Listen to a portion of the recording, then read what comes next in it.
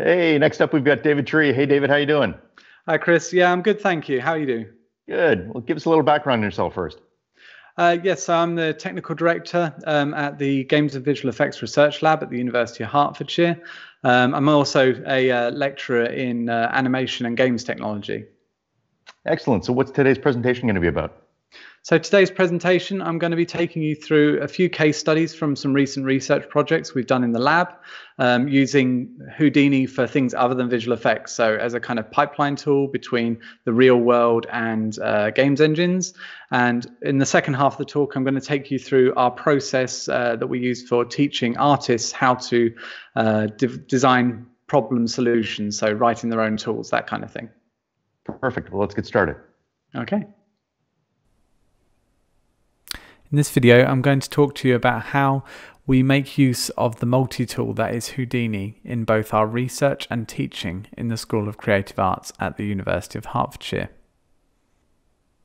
Within the research lab, it is important that when we select a tool, that it can be adapted and moulded to fit the challenges that can occur during a research project.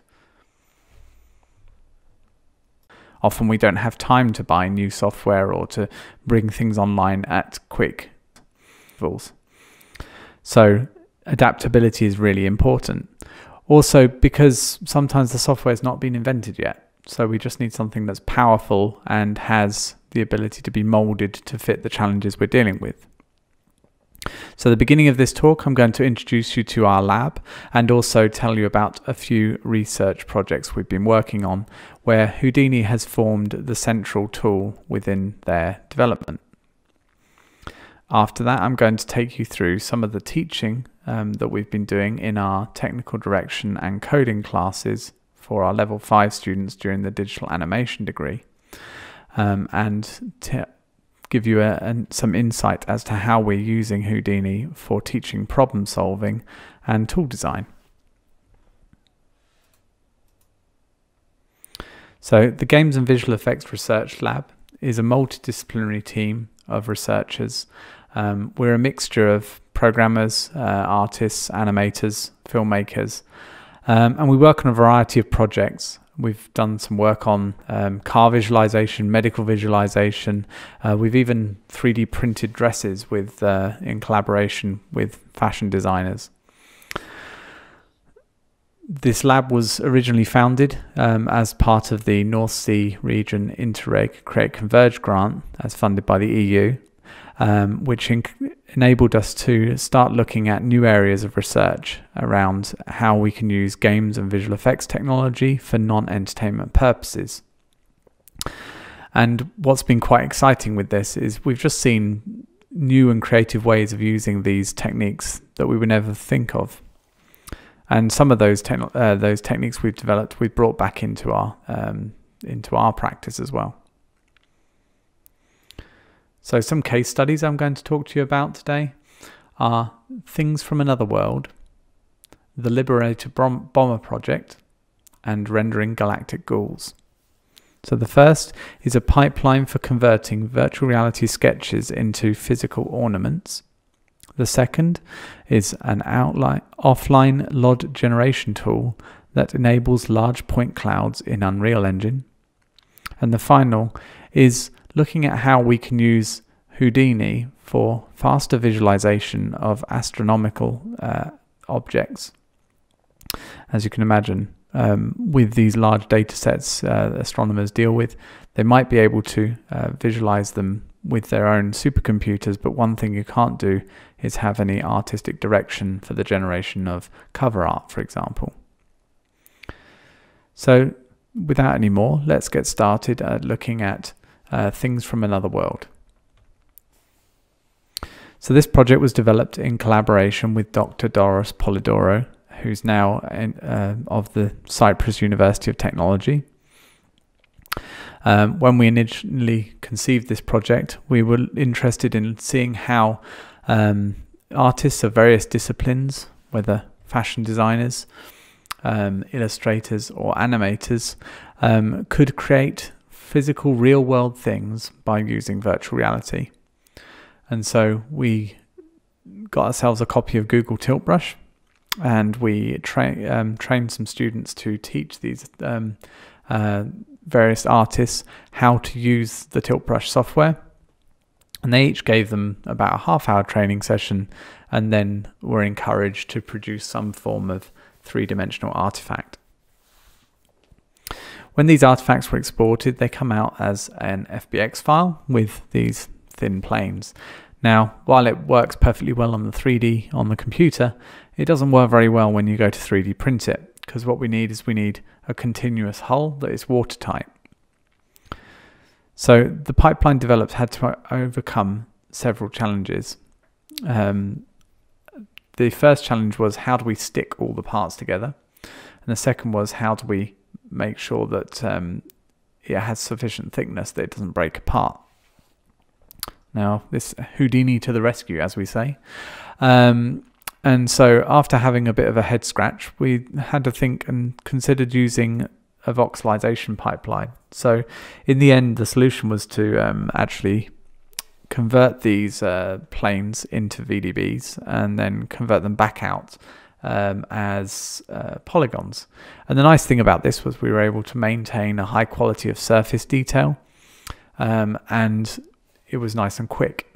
The other thing was that, of course, we had 20 or so people creating these artifacts. So, trying to um, process them, we needed something that was easily repetitive um, without having to rebuild lots of scene files. Now, of course, something that Houdini is great for is building Houdini digital assets. So, we built a HDA that would process our tilt brush X files and would export them as an STL that we could then stick into the 3D printer. So here's an example of some of the ones that were printed. And they all came out um, really well in the end. Um, we only had a few items that uh, came off, but this was due to them being very, very fine in detail. Um, we actually had an exhibition of things from another world in our gallery. But this was just the the, the fact that I was able, we were able to process these um, uh, models so quickly was down to the fact the way we set up our Houdini scene. It wouldn't have been possible using most of the other software that we would usually use. And of course, we let the artists have a bit of final direction, and some of them painted them as well. That was the only element we didn't bring across because the printer we had doesn't print in color because it's a uh, laser sintering printer. Next project I'm going to talk about is the Liberator Bomber project. So this was developed in collaboration with the University of Dundee and again with Interreg North Sea region Create Converge. In this project, we were looking at ways in which to get large point cloud data from LiDAR scans of underwater um, shipwrecks and aeroplanes and how to get those into um, a game engine so that we can explore them in virtual reality. So the advantage of using a tool such as Houdini again was that we were able to generate offline LODs, which uh, level of detail for those not initiated into the ways of games. Um, but what we generated was a series of LODs for each segment and then cut the whole thing up into small chunks so that in the game engine we could um, on the fly load them in and out. Now, while we tried other methods such as Python tools initially, um, they just weren't fast enough for processing the hundreds of millions of points we were dealing with. Um, however, after a few iterations, um, I think it was about four or five in the end, um, of the scene file inside uh, Houdini, we did manage to build a, um, a tool for cutting these planes up. Now, the important thing here was that we needed a pipeline that would work over and over again because we knew we were going to be doing more of these projects in the future. So again, we built a HDA that would slice these um, these uh, point clouds up and then exploit them as useful LODs that could then be uh, placed on top, uh, instanced onto points. So just a little demo of it actually working. So this is a quick video showing what you would see in um, in the VR headset. As you can see, we were quite pleased with the final uh, imagery that we managed to achieve, and we were able to play this at 90 frames a second in VR. Um, so the lodding system worked. And also the really nice thing about the way we created the LODs in Houdini was that we were able to maintain points between LODs uh, to ensure that we didn't saw as little shimmering um, as the, they loaded in and unloaded. And The next project I'm going to talk about is rendering galactic ghouls. This was done in collaboration with our astronomy department and Professor Jim Geach, uh, Professor Peter Richardson uh, of the screen department, and myself in this, uh, this was an example of how uh, the cross-disciplinary work we'd done previously had uh, reaped other benefits uh, because um, Jim had seen the work we'd been doing with point cloud um, processing in Houdini, and um, so we agreed to work in collaboration to do some visualization of some uh, deep. Uh, deep space data that they'd been collecting with a rather large radio telescope and they discovered this new this new hourglass shaped nebula, which they coined a galactic ghoul. Um, now, the particularly interesting thing about this one was that it um, pushes out a large amount of gas out the front of it, so they call it outgassing.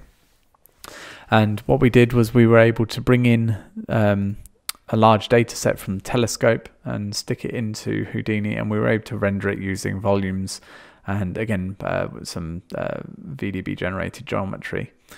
Um, what was particularly interesting for our astronomy um, colleagues was the ability to visualize this data very, very fast and fly through it and explore the points. Um, this is some this is a level of interaction that they don't usually get when they're dealing with um, these large point clouds, um, especially when they're processing them on a cluster supercomputer where effectively they have to send the require, request off and wait for it to be processed.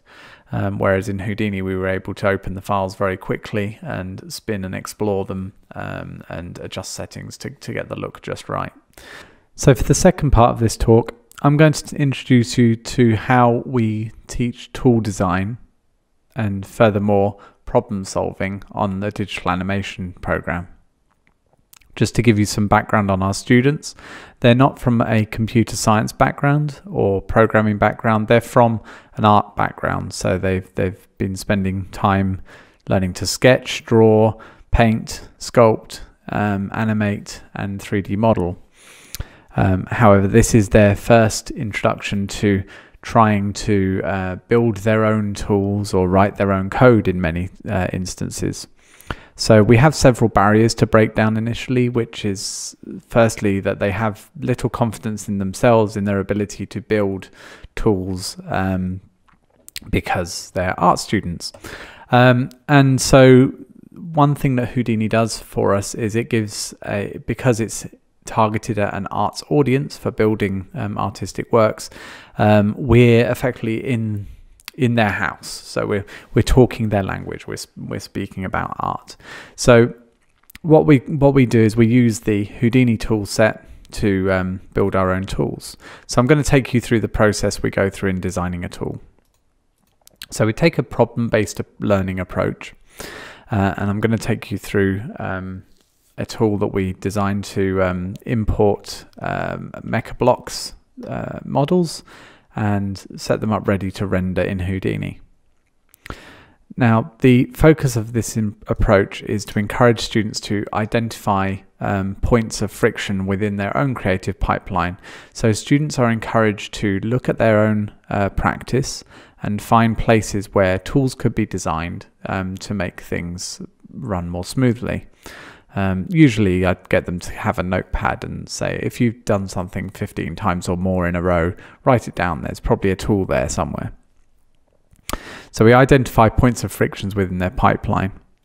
Then they're encouraged to develop their own expertise within the technical tools of their pipeline, so in their own discipline, uh, where we suggest they do some of their own research to try and find how to build um, solutions to those problems that they've identified.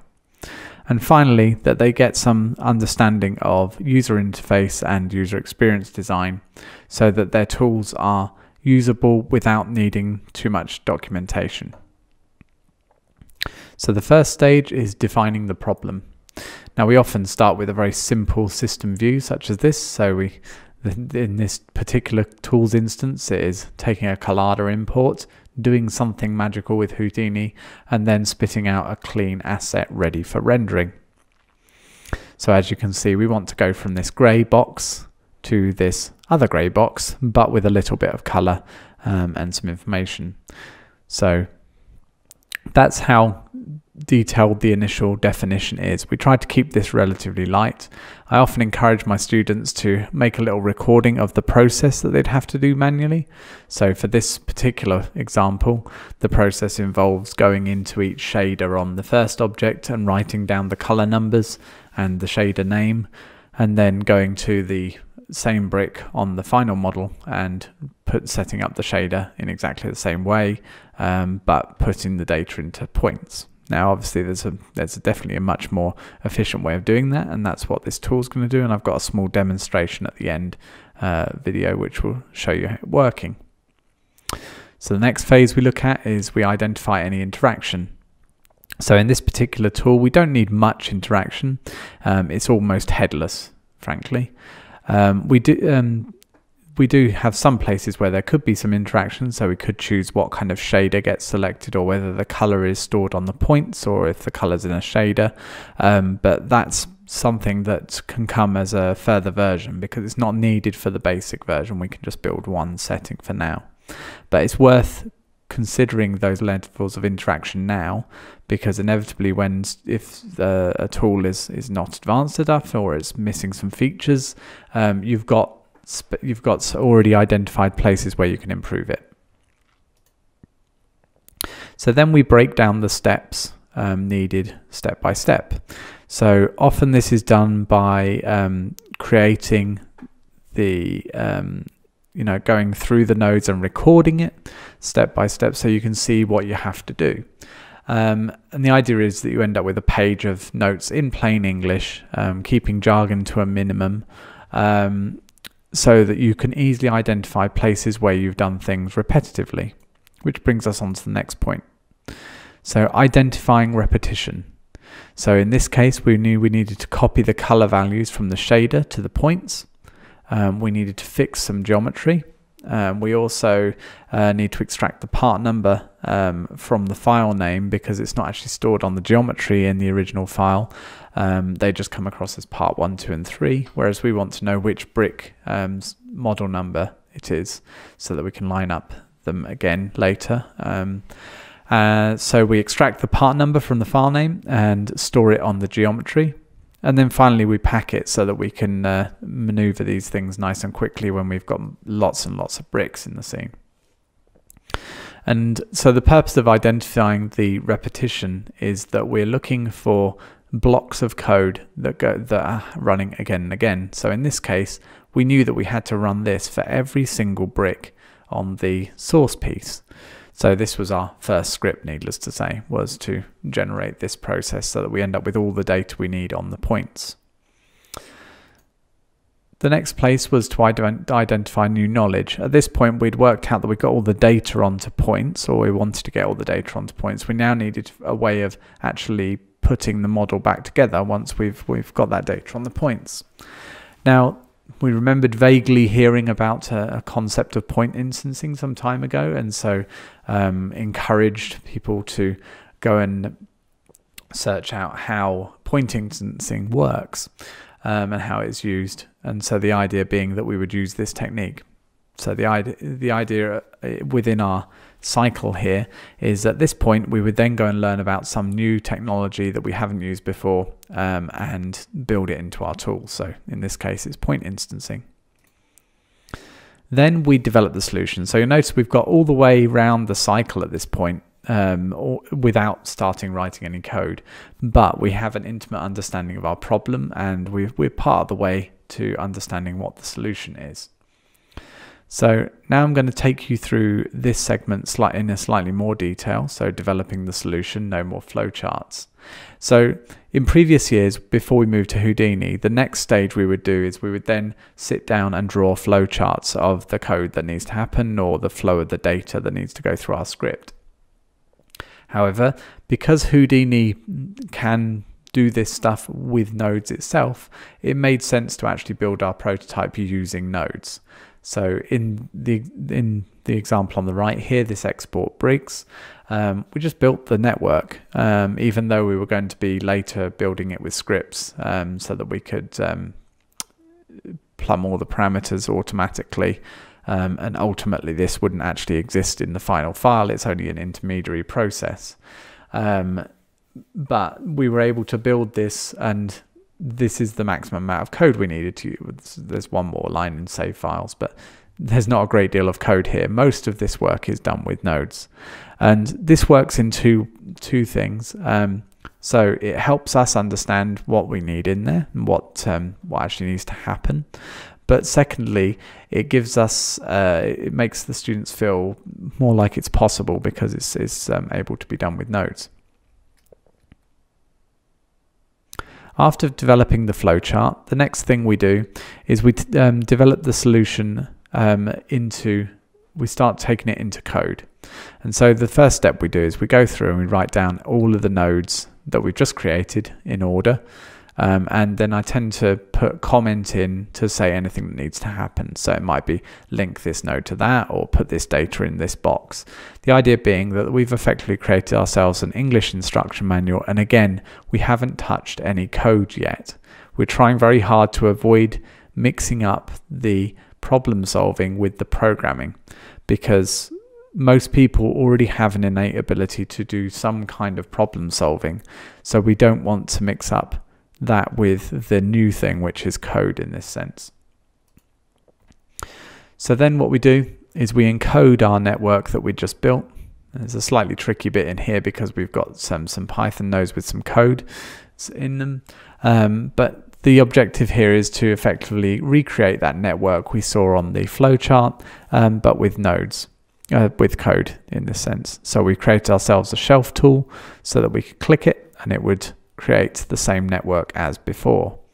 Now, obviously, in some cases, this might have been better created using a, a HDA, um, and of, and you can also use the the as code function.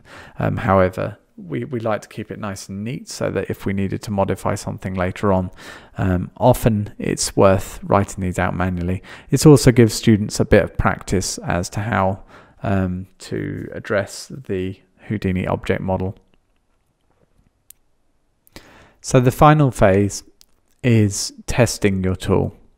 Now in this video, I'm going to show you us testing it with a far more complicated model than we initially tested with, uh, mainly because it's more interesting to see um, the complicated one.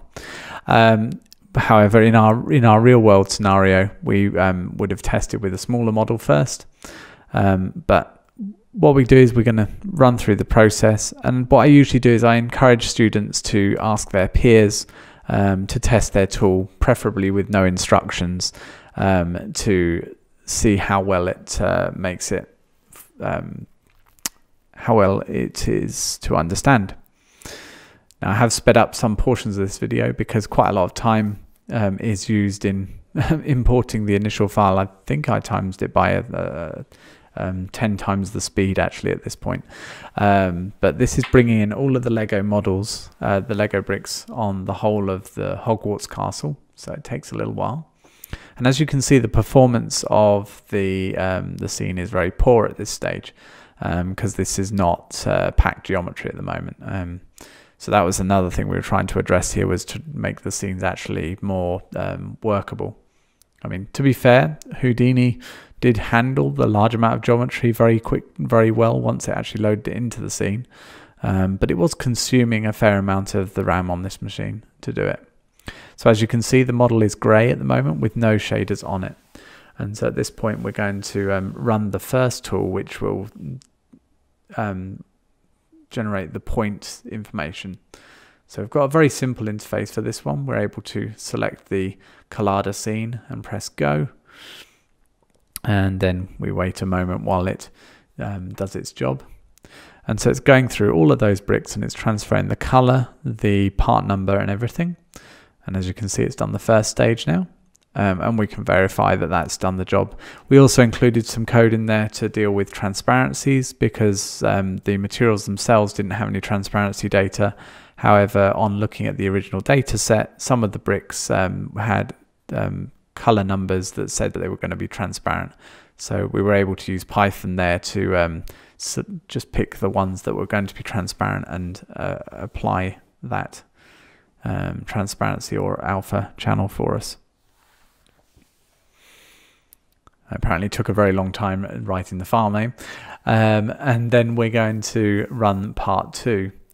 Now, part two is going to um, export all of those, it's going to export all of the unique bricks from the uh, that have resulted from part one um, so that we've got a collection of standard bricks that we can then point instance in part three. These are all being saved out as BGEO files. And this means also that our Houdini scene opens nice and quickly now.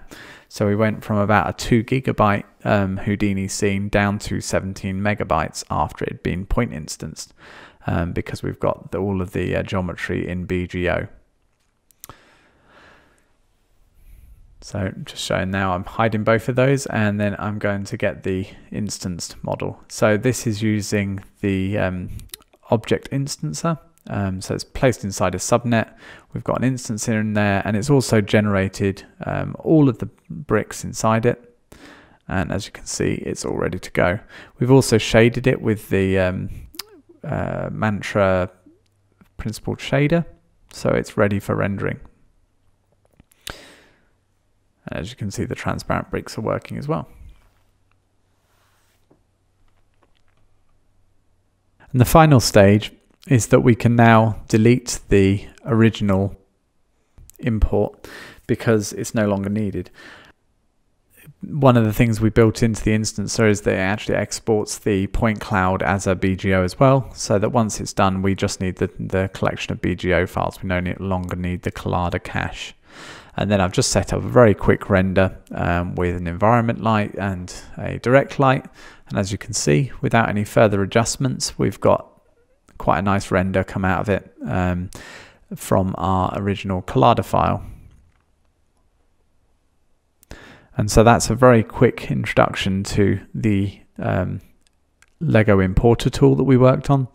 Um, the final stage that um, after testing is to then identify any future um, features that you'd want to add. Uh, so in this case, um, we suggesting that it might be useful to have alternative renderers. So if we've got different shaders that we need to use, um, whether we wanted to make it destructible or have some kind of um, ability to remove some of the points so you could see into the model. Um, and also for some cases people wanted to be able to choose the um, the color themselves for bricks uh, and so actually putting the color back out into shaders was um, useful instead of uh, putting it in a color point as well so just a final slide and this is another render we did from it um, and so just a quick thanks to Mechabricks for their site um, where all AFOLs can build models to their heart's desire um, uh, without it, we wouldn't have been able to um, build these projects. So that's been uh, much appreciated. And if you like building Lego as much as we do, um, please do support their site. And they're on Patreon, I believe. Um, thanks to um, Mechabricks users uh, Jeff and Stas for building the models. Um, and thank you, everybody, for listening.